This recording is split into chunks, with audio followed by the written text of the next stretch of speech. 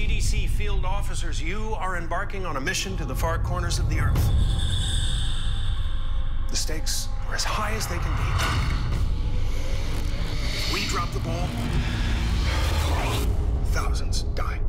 Our primary goal is to identify this pathogen. The base is above the 83rd parallel. There's no jurisdiction at all.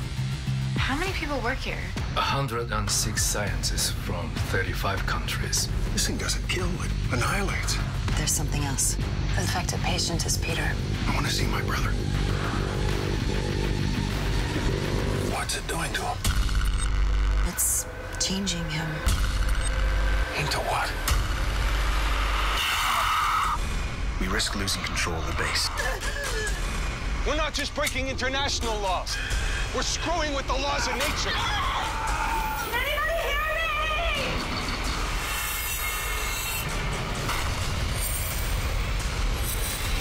I am thinking the virus is not our biggest problem. Helix. Friday, January 10th, exclusively on Showcase.